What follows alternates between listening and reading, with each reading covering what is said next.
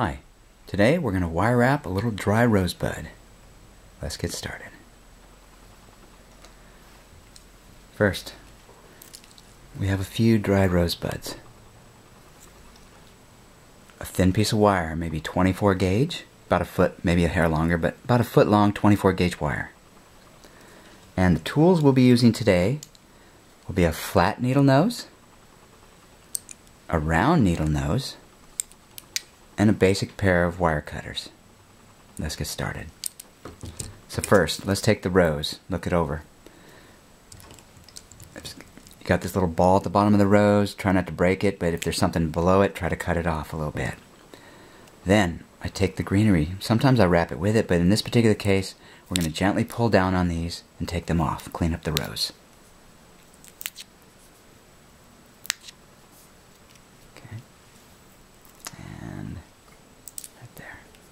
So now we have our little rose. It's all kind of cleaned up. Let's take our wire. And what I'm going to do is I'm going to fold it in half. Match those. Pull that down like that. Okay. And I fold it in half. I take the round needle nose. And I'm going to bend this and find the middle.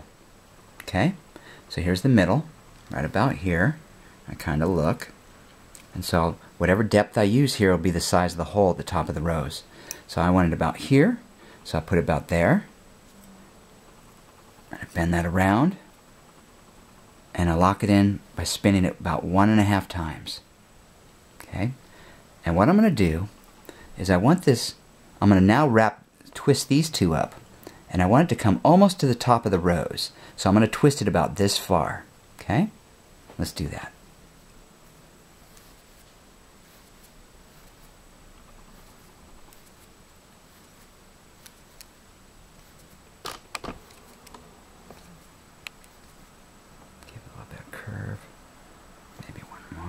Take a look. And so now you can hold the rose up and look. It wants to go just a little bit farther. So let's twist it maybe one or two more times. Okay, again, giving it a little curve there. Hold the rose up. We could look. And that's about right, almost to the top of the rose. Perfect. Now I'm going to take this off. And what I'm going to do is cut off this other edge. That way we have two more wires.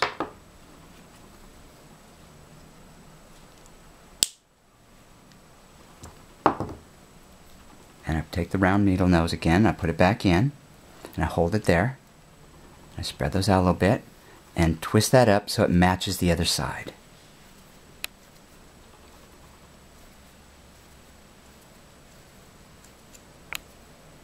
Give it a little curve, kind of take a look, still a little short, maybe one or two more times. Okay, that's about right. Okay. I'm right-handed. And so what I do is, I take this in my left hand, and I take the rose, and I hold this here like this, and I just kind of catch it there. And what that does is it allows me to work with my right hand. Okay, I'm going to bend these wires down a little bit, like this. Okay, while keeping the wire centered on the rose. Okay, bend this down a little bit like that, curve that one, curve that one and I just kind of catch it right there while staying centered. Now, I take those two and I gently lock that in, and I'll bring that towards the top here, and I'll spin it up.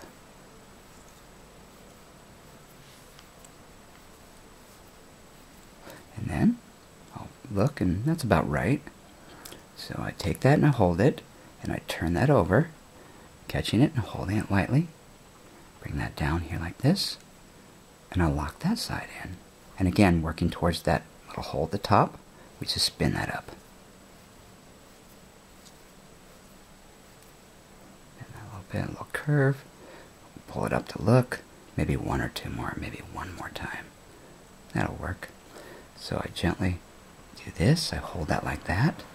I kind of do this. And I keep it centered. Bring that down. That down. And so while staying centered on the rose, okay, make sure it stays in there. I center that a little bit, and I lock it in.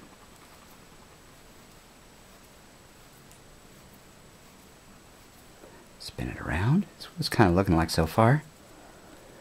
And I hold it right there. And again, I'll lock the other side.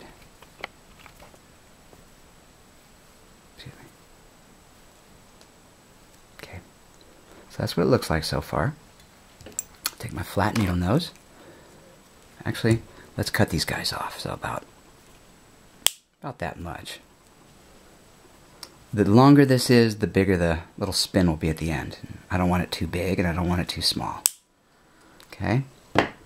Now I like to straighten out my wire a little bit. And I've learned over the years that if I just push it that way, it's usually going to scratch the rose. So I've learned to lift up just a little bit. And then what I'm doing is giving it a little S. And I'll lift up on the bottom piece and I'll pull back that way a little bit.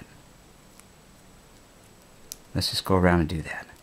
Lift up a little bit, push that way, lift up a little bit, pull that way. Number three, lift, and pull, and the last one. And pull back this way. At this point, I might take that and just gently lock it in a little bit more. That way it's not kind of loose on you. Okay, so that's what it looks like so far. And so if there's one side that's open a little bit, let's just say this one's kind of open, what I'll do is I'll take this and I'll bend it and scroll that up. And the one that's kind of open, I just kind of put that down over that side. The other one. And I usually go to the opposite side, but this is kind of open right there, so I'll just fix that so it's not so open. and so I go to the opposite side of the other scroll, right about here, and I'll take this one, do the same thing.